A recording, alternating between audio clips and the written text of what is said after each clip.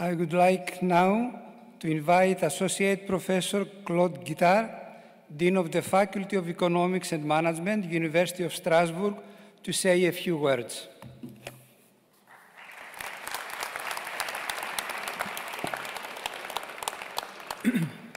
Dear Vice Chancellor, Mr. President, and above all, dear graduates, um, first of all, I, I, want to really, really congratulate uh, all, congratulate all the, the graduates. I, I know what it means to this big step forward in, in your life.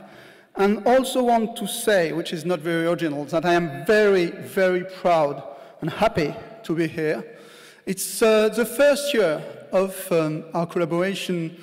Uh, we have uh, now degree um, graduate students. Uh, we are very proud of this partnership with, obviously, York, a very well-known and famous uh, British university, and very, very proud of the work uh, with uh, City College.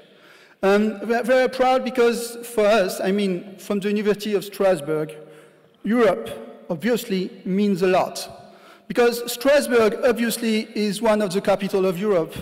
We have, we have the siege, siege of the European Parliament, the EU European Parliament. But above all, and I think it means maybe a lot here for the students of the MBA program. We are also the siege of the Council of Europe. And this is a larger Europe, whereas there is even Britain inside. So sometimes Britain is in Europe, and it's good like this. Um, so it's a large Europe, and it's above all a place for peace and cooperation.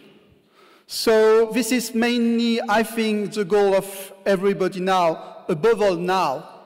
In the world we are living, I would say in the Europe we are living, with the war not near us, but inside Europe, these kind of uh, subjects are very important. And really, the program in general here, uh, I think, do a lot for peace and by education. This is our, one of our main goals.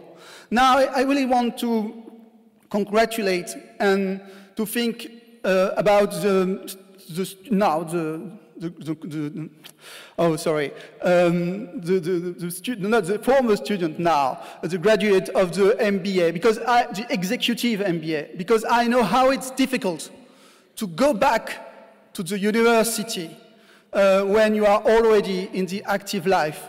And I really think you have very, we have a very strong respect for what you have done. And we believe in you and we believe you will be uh, the ambassador of what we have just said about, of course, business, economic growth, but above all, about friendship and democracy and peace between us. So let me finish just to say three words in French. Bravo, félicitations, et vive l'Europe.